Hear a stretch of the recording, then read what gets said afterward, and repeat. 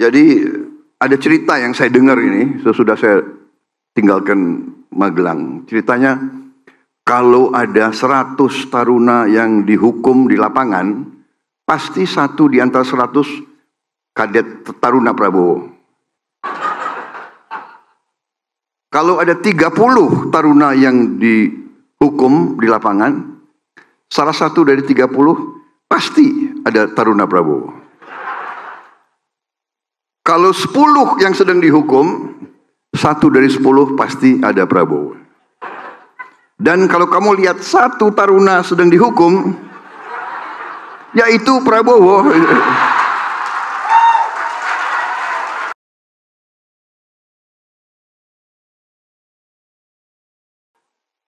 Jadi beliau itu beliau memang tadinya sahabat saya tadinya. Tapi akhirnya menjadi senior saya. Jadi beliau memang bisa dikatakan kadet terbaik, taruna terbaik, ya kan? Dari dalam sejarah akademi-akademi militer, ini Pak saya boleh cerita sedikit ya. Kapan lagi, ya kan?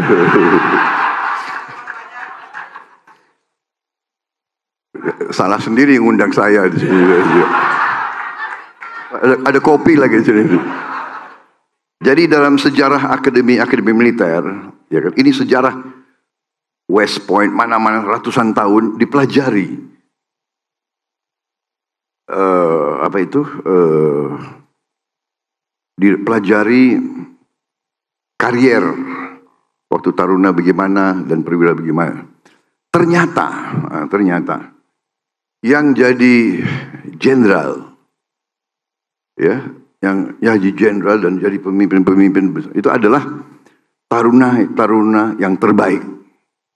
Dan eh, belum belum belum. Taruna-taruna terbaik dan taruna-taruna yang nakal.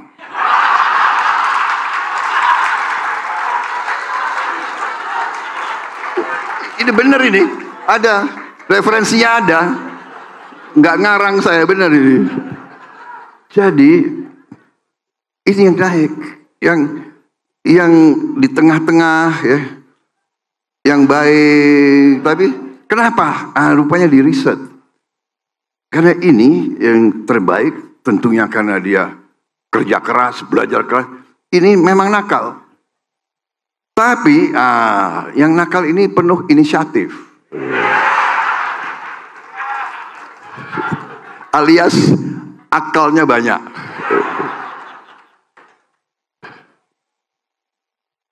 Jadi ada cerita yang ini ada wartawan banyak ya, nggak enak saya. Tapi nggak apa-apalah. Kalau udah capres, udah capres semua dipelajari, ya kan? Semua dicek.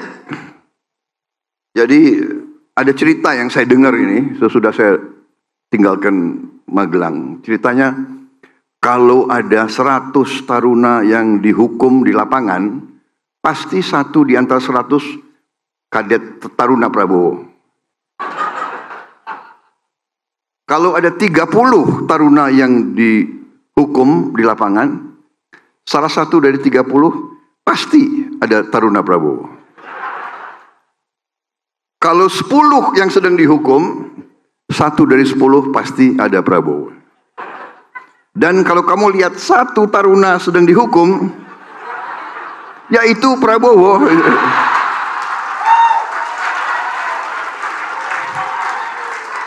itu cerita, itu cerita di turun temurun saya dengar itu. Aduh, suatu saat saya dengar cerita itu dan saya kembali ke Magelang. Kumpul semua taruna, semua pelatih, guru, dosen, dan saya ulangi cerita ini. Saya bilang, oke, okay, itu benar dulu. Tapi sekarang saya kembali sebagai Menteri Pertahanan Republik Indonesia.